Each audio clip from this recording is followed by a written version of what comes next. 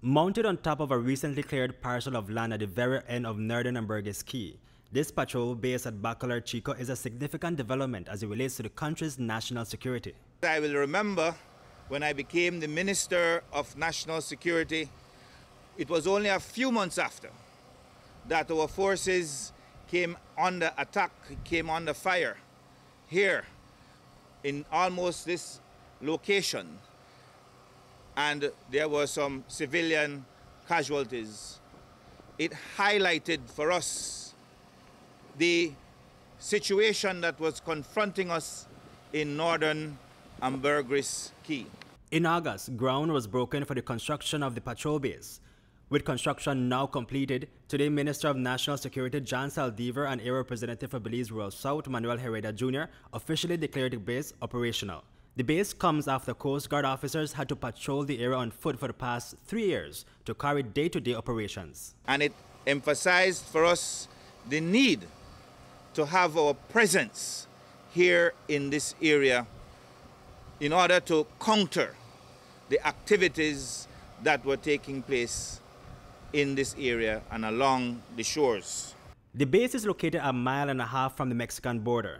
The area is known as a major hotspot which criminals use as an avenue for cross-border criminal activities such as drug trafficking and weapons trafficking. There's a lot of activities, uh, criminal activities that takes place in, on this side of northern um. Um, for years we've known that we've had to put a permanent presence out here. We have had a makeshift or temporary presence along here, but we have now established a permanent presence, and that we hope will help to curb some of the illicit activities that happen in this area. And the important thing about it is that the illicit activities that happen in this area really drives crime throughout the country. Whether it be Belize City or any other part of the country, a lot of what takes place here in northern Ambergris drives the crime in the rest of the country. So do you believe that this base will deter these drug international drug peddlers because they can be persistent, especially when it comes to, to cocaine and what has been found in, in this area? we are very hopeful that it, it is going to curb the activities. We are very hopeful that it's going to discourage uh, these criminals from working in this area. Would the officers here work along with their Mexican counterparts? We always do. We do conduct uh, uh, operations with our Mexican counterpart every two months. We, we do um, patrols with them and we are in constant daily uh, communication with them with, with, with, whatever information or intelligence they, we can share. According to Saldivar, the strategic importance of the base is also to provide stability for economic prosperity.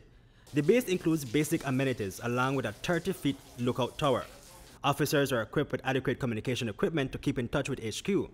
The government invested more than $200,000 in the construction of the facility proper um, sleeping facilities, bathroom facilities. We, we, water is going to be a problem if we don't get a lot of rain, but for right now we're going to depend on, on, on the rain to, to catch water for them. And so um, we, this is one of the uh, better facilities in terms of amenities. We believe um, the Coast Guard really leads the way in terms of providing proper accommodations for their people. And you have adequate communication devices? Yes, we have radio communication and we are in constant uh, touch with the base.